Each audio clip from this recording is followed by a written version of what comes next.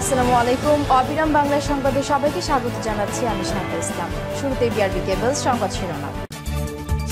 শুরুতেই জানিয়ে দিব, এই মুহূর্তের সর্বশেষ গুরুত্বপূর্ণ আপডেট বাংলা সংবাদ। ফিরোজায় খালেদা জিয়ার সঙ্গে সাক্ষাৎ গয়েশ্বরের। এরপর থাকবে বিএনপির সাথে জামাতের কি বিরহ চলছে। জানিয়ে দিব, গণতন্ত্র মঞ্চের মিছিলে পুলিশের বাধা, নিষ্ঠুরতার বহিঃপ্রকাশ, বলছেন মির্জা ফখরুল। জানিয়ে দিব একটি গুরুত্বপূর্ণ সংবাদ। সদ্য সাবেক শিক্ষামন্ত্রীর বিচার চাইলেন কামাল আহমেদ মজুমদার। এবারে জানিয়ে দিব, সরকারের ঋণে বড় চাপে ব্যাংক খাত।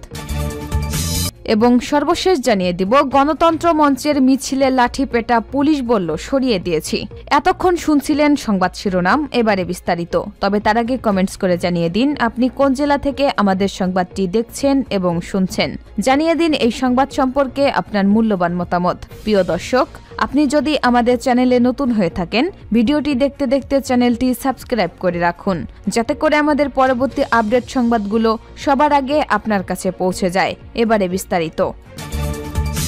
ফিরোজায় খালেদা জিয়ার সঙ্গে সাক্ষাৎ গয়েশ্বরের। বিএনপি চেয়ারপারসন খালেদা জিয়ার সঙ্গে সাক্ষাৎ করেছেন দলটির স্থায়ী কমিটির সদস্য গয়েশ্বর চন্দ্র রায়। আঠাশ ফেব্রুয়ারি রাত সোয়া আটটার দিকে রাজধানীর গুলশানে বেগম জিয়ার বাসভবন ফিরোজায় যান গয়েশ্বর।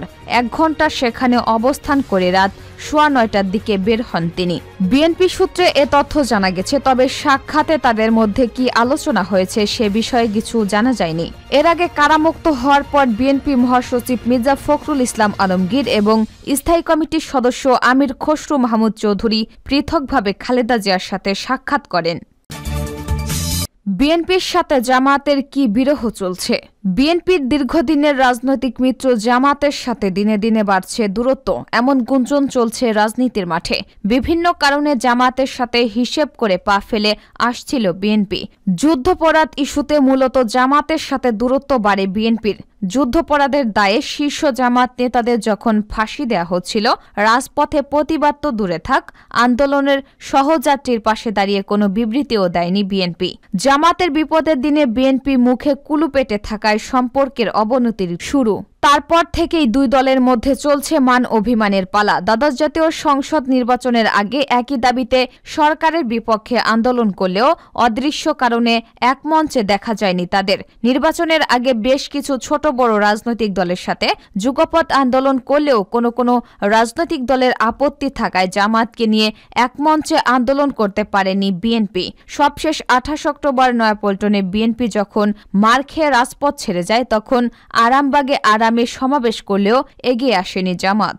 তবে বিএনপি নেতা জয়নুল আবেদিন ফারুক মনে করেন, জামাতের সাথে কোনো দূরত্ব নেই বিএনপির, কৌশলগত কারণেই আলাদা মঞ্চে আন্দোলন করে আসছে তারা। তিনি মনে করেন, একাত্তরের পর যাদের জন্ম তারা খাঁটি বাংলাদেশি, তারা তো দেশের বিরুদ্ধে কিছু করছে না। তাদের চাপে রেখে সরকার রাজনৈতিক ফায়দা লুটতে চায়। তবে জামাত ইস্যুতে বিএনপির নীতি নির্ধারণী ফোরামের নেতা ড আব্দুল মঈন খানের অভিমানী বক্তব্যে বোঝা যায়, দুই দলে চলছে সম্পর্কে টানা পড়েন। তার দাবি আওয়ামী লীগের সাথে রয়েছে জামাতের শঙ্খ, বিএনপি জামাতের দূরত্ব বাড়ল কিনা আওয়ামী লীগ ভালো বলতে পারবে বলেও জানান তিনি। তত্ত্বাবধায়ক সরকারের দাবিটি জামাতে ছিল, তা হাইজ্যাক করে অতীতে আওয়ামী লীগ রাজনৈতিক ফায়দা নিয়েছে বলেও দাবি করেন মঈন খান। দ্বাদশ জাতীয় সংসদ নির্বাচনের আগে হাকডাক করলেও নির্বাচনের পর ঘর গোছাতে ব্যস্ত দেশের অন্যতম রাজনৈতিক দল বিএনপি।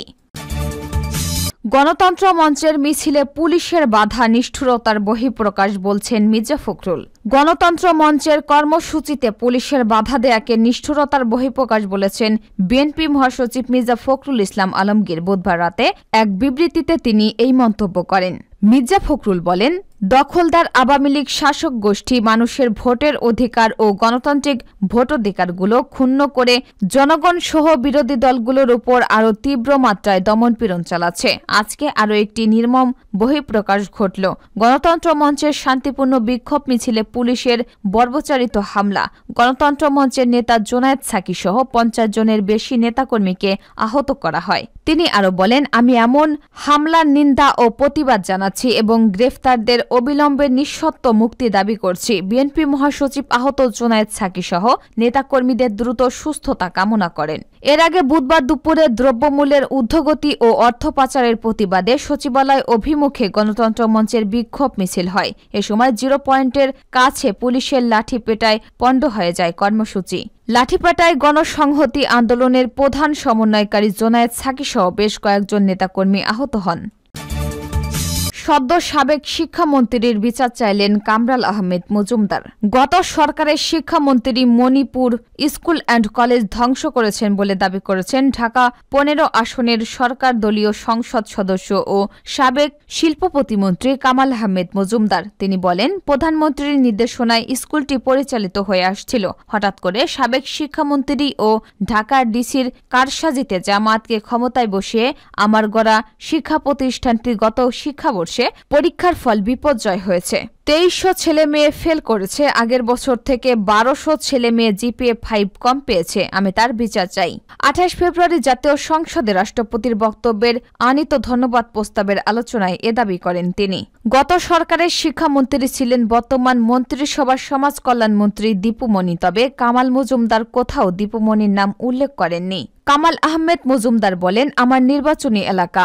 অসংখ্য জামাতের নেতাকর্মী বসবাস করে। ইতোমধ্যে জামাতের আমির প্রার্থী হয়েছিলেন দু সালের নির্বাচনে। সেখানের একমাত্র শিক্ষা প্রতিষ্ঠান মণিপুর স্কুল অ্যান্ড কলেজ, সেটি এখন ধ্বংসের মুখে পতিত হয়েছে। কামাল আহমেদ মজুমদার অভিযোগ করে বলেন, প্রধান শিক্ষক জামাতের তাকে ক্ষমতায় বসানো হয়েছে। সে প্যারালাইসিসে ভুগছে। সে কথা বলতে পারে না। শিক্ষা মন্ত্রণালয়কে বারবার বলার পরেও তাকে এখনও সরানো হয় নাই। কোর্টের পর কোর্ট মামলা তারা করছে। স্কুলটাকে ধ্বংসের মুখোমুখি তারা নিয়ে যাচ্ছে। প্রধানমন্ত্রীর প্রতি আহ্বান, স্কুলটাকে আপনি রক্ষা করুন। আপনার বরাদ্দ দেওয়া জমিতে আমি তিলে তিলে এ স্কুলটি গড়ে তুলেছি। এটি নন এমপি ভুক্ত শিক্ষা প্রতিষ্ঠান। ট্রাস্টের মাধ্যমে পরিচালিত হয়। আমি জানি না কি কারণে সাবেক শিক্ষামন্ত্রীর কুনজর পড়েছে স্কুলটির উপর। আমি তার বিচার চাই। সরকারের ঋণে বড় চাপে ব্যাংক খাত। ব্যাংকের উপর চাপ কমাতে বন্ড মার্কেট থেকে। সরকারি ঋণের যোগান বাড়ানোর পদক্ষেপটি এখনও আলোর মুখ দেখেনি। এ বিষয়ে নানামুখী উদ্যোগ নেওয়া হলেও আইনি জটিলতায় বন্ডের প্রতি বিনিয়োগকারীদের আগ্রহ বাড়েনি। ব্যাংক ও আর্থিক প্রতিষ্ঠান ছাড়া বন্ডে বড় ধরনের বিনিয়োগ করার মতো সরকারি বেসরকারি খাতে গড়ে ওঠেনি বড় ধরনের কোনো কর্পোরেট প্রতিষ্ঠান। ফলে বন্ড বাজার দুর্বলই রয়ে গেছে। এ খাত থেকে সরকার বড় অঙ্কের ঋণের যোগান পাচ্ছে না। যেসব বিল বন্ড বিক্রি হচ্ছে, এর সিংহভাগই কিনছে ব্যাংক ও আর্থিক প্রতিষ্ঠানগুলো। ফলে ঋণের বড় অংশেরই যোগান আসছে ব্যাংক ব্যবস্থা থেকে। এতে ব্যাংকের উপর বড় ধরনের চাপ পড়ছে। সরকারকে বড় অঙ্কের ঋণের যোগান দিতে গিয়ে বেসরকারি খাতে চাহিদা মতো ঋণের যোগান দিতে পারছে না ব্যাংকগুলো। একই সঙ্গে ব্যাংক ভুগছে তারল্য সংকটে।